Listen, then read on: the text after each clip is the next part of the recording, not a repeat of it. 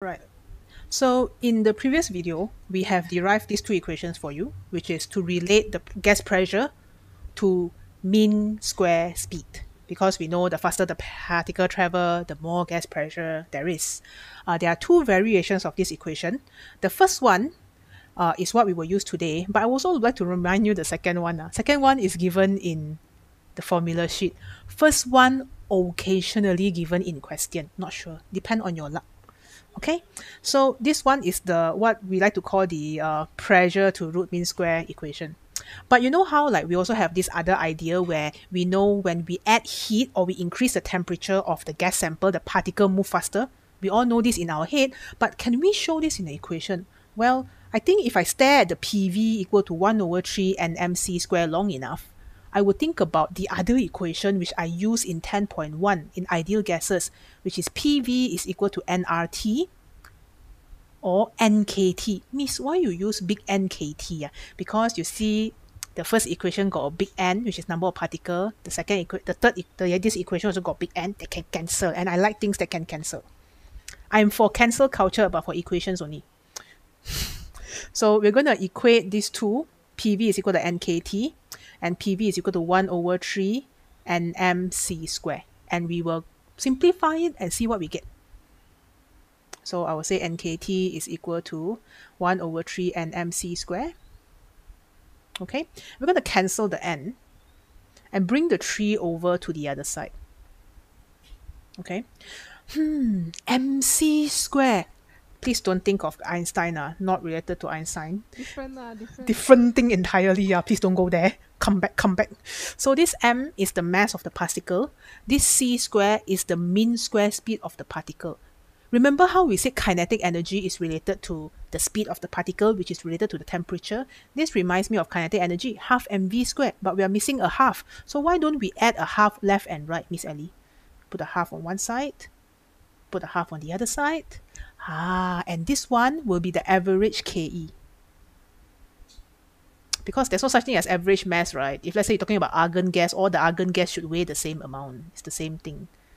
Okay, so I will get average KE of one gas particle, only one particle ah, is 3 over 2 KET. Okay. Alright, kinetic energy is 3 over 2 KT.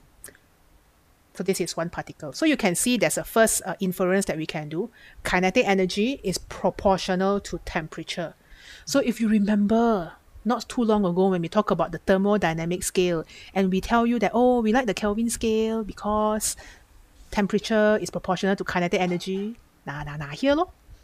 This temperature is in Kelvin. Meaning if you double your temperature from 100 Kelvin to 200 Kelvin, you are doubling your kinetic energy. So this is the benefit of the Kelvin scale. So when you want to brain the proportionality, because ratio is your best friend, it's a bit more easier to brain. All right. Miss, so does that mean no? Ah. Zero Kelvin, zero kinetic energy, no? Yeah, Zero, zero. yeah, look, then the particle they just don't move far. But you see, uh, in real life, scientists was not able to chill a gas down to zero Kelvin. I think the lah. zero point zero zero something, and things become very weird when it's that cold. Some superconducting computer happen. Yeah, that one next time lah. You go and study more physics. You do your own experiment in the lab. Okay, so now, okay, so as I as I mentioned just now, kinetic energy will be proportional to the thermodynamic temperature. Okay, but we also need to have a relationship between the mean square speed and temperature so you can see from the expression above the black box that T is also proportional to mean square speed. Okay, so T is proportional to mean square speed. I mean, the rest of the things are constant. What? Good news for physics, your gas sample only got one gas. We don't mix the gas. That one is chemistry. We leave it to the chemist. Okay, Uh, so this is your mean square speed, and it's proportional to I mean, your mean square speed is equal to this one. Uh. So 3k over m is constant. So v square is proportional to t.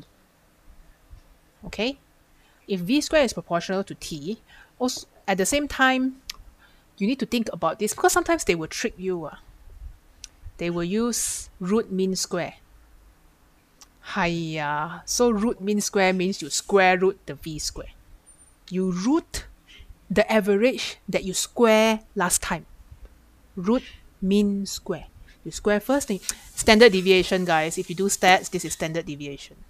So you get this equation, and this is the RMS, root mean square. So your VRMS or your CRMS is proportional to root T. Do not forget the square root. Okay, gentle reminder.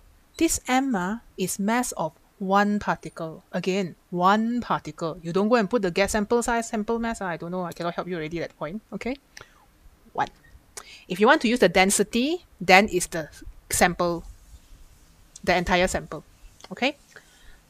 So right now, you can assume that the average Ke of a gas molecule, which is given by this equation, Ek is 3 over 2 K, K 3 over 2 kT, is constant if the temperature of the gas is kept constant. All right, so we have finally, congratulations, we have related to the speed of the particle to pressure and the speed of the particle to temperature. Good job, Miss Ellie. So let us uh, draw a line somewhere at below because we know in real glasses there's intermolecular forces, okay? So there will be some potential energy, lo. Huh? Okay, number three. So because of this, uh, we, I'm going to have to define internal energy, which is the sum of a random distribution. Miss, why random? Uh? Dude, the KE that I gave you, that equation uh, is for average. So it's a random, random distribution ah, of kinetic energy and potential energy because that one is in the bond. Remember chapter 12? The one where we talk about the different states. Okay, potential energies associated with the molecules of a system and also is determined by what state it is in, whether it's in solid, liquid, or gas. Okay. However, for ideal gas, we assume the potential energy is zero.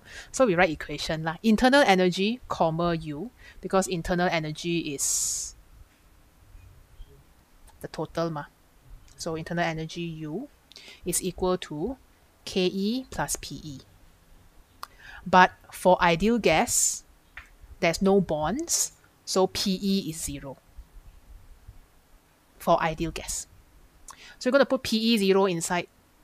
Your internal energy is also known as KE. So your U is equal to KE. And just for ideal gas, because of this relationship, you can steal the relationship of KE and temperature and say that the internal energy is equal to 3 over 2 kT. This one is for one molecule. It will be 3 over 2 nkt for the sample. Please read the question. Sometimes they ask for one particle, sometimes they ask for the whole sample. Normally for internal energy, they ask for the whole sample because internal energy of one particle doesn't really make any sense. lah. Okay. So n part yeah. So for n particles, so you're going to use U is equal to 3 over nkt if you're very sure the gas in the question is ideal.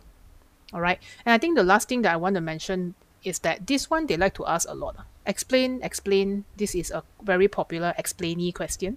Okay, so go to your past years and go and uncover them.